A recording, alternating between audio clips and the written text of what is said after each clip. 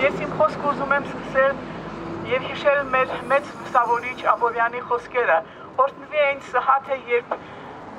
ռուսի ոտքը մտավ Հայաստան։ Այո, դա այդպես է եւ անհերքելի փաստ է։ Մենք պիտի հիշենք, որ մեր բոլոր ծանր ժամանակներում ռուսն է մեր կանգնի կողքին կանգնած եղել։ Ռուս զինվորի արուն է թափել հայկական հողի վրա եւ մենք այսօր այդ բոլորը չենք կարող մոռանել։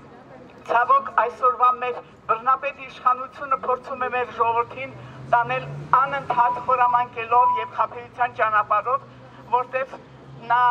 ես պիտի համարձակություն ունենամ ասելու, որ նրա միակ նպատակն է այս բռնապետության, այս պատուհաս վարչապետի միակ նպատակն է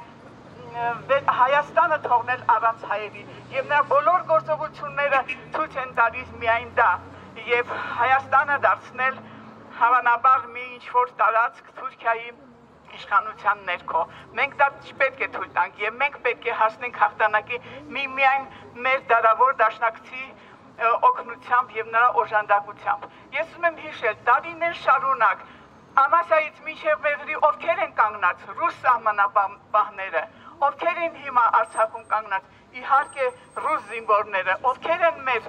պաշտպանությունը կազմակերպում, իհարկե ռուս զինվորները, եւ շատ անհարմար է, որ մենք մեր ժողովրդի որոշակի մասը չի կարողանում կրահել այդ ամենը, չի կարողանում հասկանալ եւ տրվում է այն սադրանքներին, որը կազմակերպում է այս իշխանությունը շատ վարպետորեն։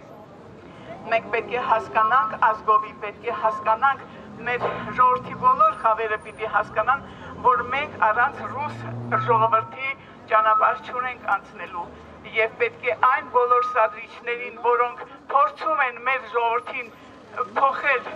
մեր ժողովրդի տրամաբանությունը, մենք պետք է իսկապես նրանց կարողանանք բացատրել, հասկացնել, որ շատ սխալ որոշ մարդիկ, որոշ սադրիչներ,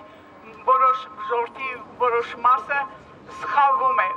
Պետք է հասկանանք, որ առանց Ռուսաստանի մենք չունենք ճանապարհ եւ պետք է մեր գոհունակությունը եւ շնորհակալությունը հայտնենք եւ երբեք չմոռանանք այն ինչ որ մեզ համար ռուս ժողովուրդը արել է։ Փառք ու պատիվ Ռուսաստանին իհարկե ցանկանում ենք